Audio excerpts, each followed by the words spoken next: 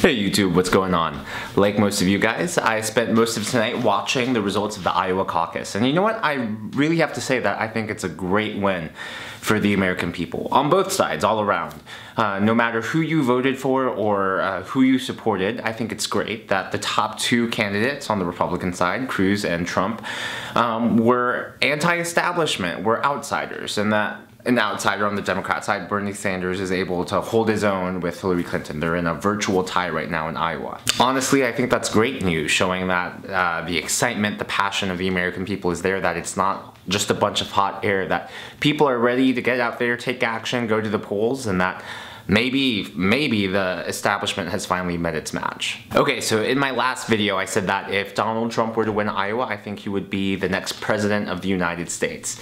Obviously, he did not win uh, Iowa, but I do think uh, I, I, still just see him being the Republican nominee. I don't see it being someone else. Uh, if, if it was going to be someone else, uh, I could maybe see Rubio. I think that after Iowa, Cruz is going to lose. If you look at New Hampshire, uh, Donald Trump is regularly polling in the 30s in New Hampshire. That's the next primary uh, happening next week. Cruz, who is in second place, is at 13%. So Donald would have to drop over 20 points in just eight days to be on an even playing field with anyone else. I just don't see that happening. Could Cruz surge after the momentum in Iowa?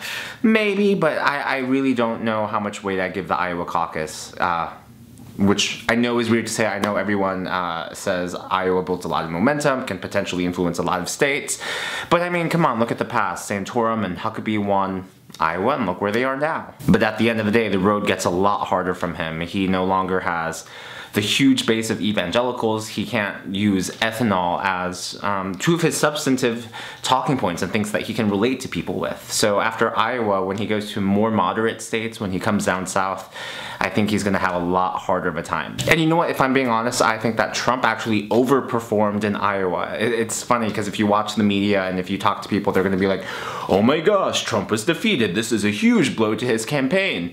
But if you think about it, it's really impressive that he did as well as he did because not only is Trump an outsider candidate, he's the virtually the only candidate that had no ground game in Iowa. It was known, it is known that Cruz had a huge ground game. He had over 12,000 supporters actually on the ground, calling people, bringing people to the caucuses.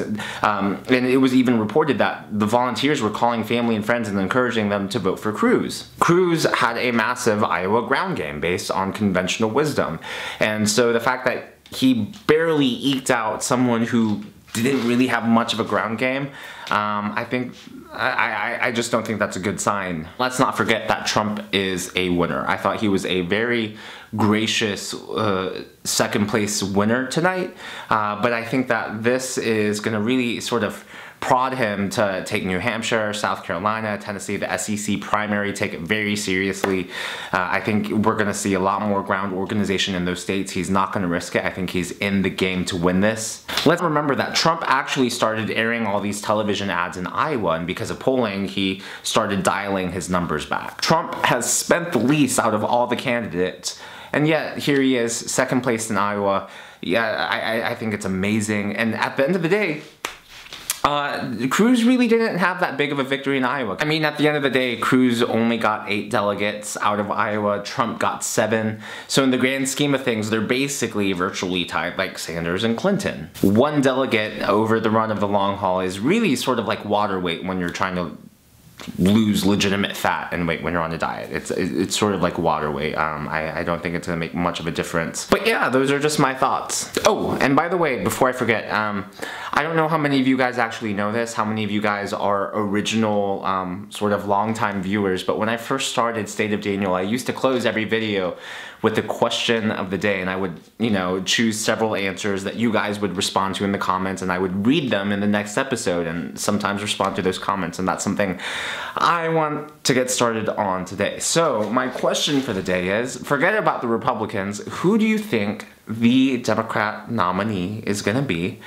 And do you think he or she can win the general election. So whatever you think, please leave your thoughts in the comment section below and I will uh, choose some of them at random and read them during next week's episode, respond to them if it piques my interest.